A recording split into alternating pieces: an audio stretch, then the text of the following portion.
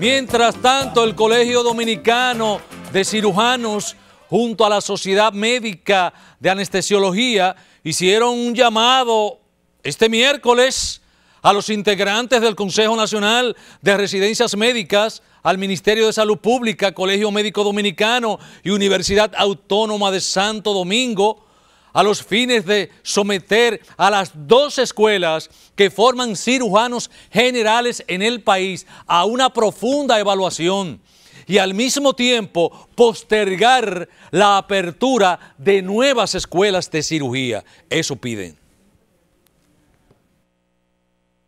El Colegio Dominicano de Cirujanos pide revisar condiciones de las escuelas de cirugía antes de abrir nuevas residencias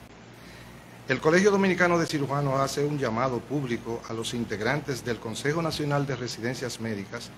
Ministerio de Salud Pública, Colegio Médico Dominicano y Universidad Autónoma de Santo Domingo,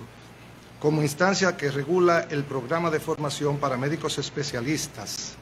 las llamadas residencias médicas, a,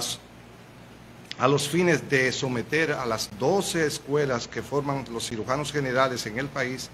a una profunda evaluación y al mismo tiempo postergar la apertura de nuevas escuelas de cirugía para poder realizar un experticio técnico que permita determinar cuáles establecimientos de salud, de salud cumplen o siguen cumpliendo los requisitos para ser habilitados como centros docentes de posgrado en cirugía.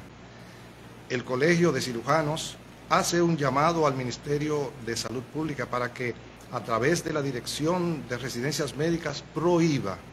a partir de este año la entrada de médicos a los programas de entrenamiento para médicos especialistas si no han ganado las plazas por concurso